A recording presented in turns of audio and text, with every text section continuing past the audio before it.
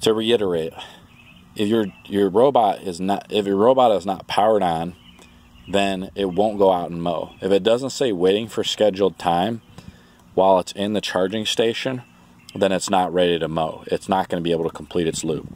The reason why it won't the number one reason why it won't say that is I did not put it I manually probably got stuck somewhere in the yard for whatever reason, got stuck on a twig or just stuck maybe for whatever reason or I manually manipulated it somehow and I manually put it back in the docking station and I didn't clear out the menu for starters. So I'm going to show you basically the first tip.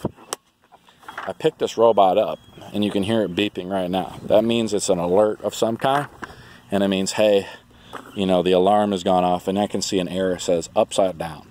That's fine. It says press zero to reset.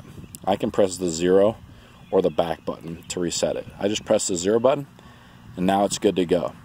But if I manipulate this and I pick it up again and I put it into the docking station, you can hear it beep.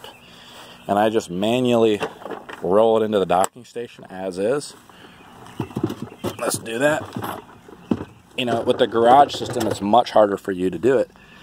You know, if I look at the menu, it says trapped in there.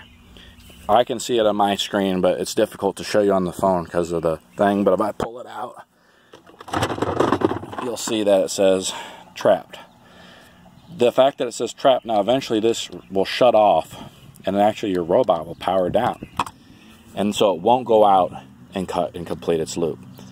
So I want to just hit the back button again, make sure, and I'm going to show you now how to properly, a part of this video series, properly put it in the docking station. So I'm to pick this robot up. Now if I dock this robot, I clear out the menu air here, back button from upside down. I hit charge. I'm starting it kind of at an angle closer to the garage, so it might act, might dock a little funny. It might take a few attempts for it to dock. Nope, dock successfully, perfect.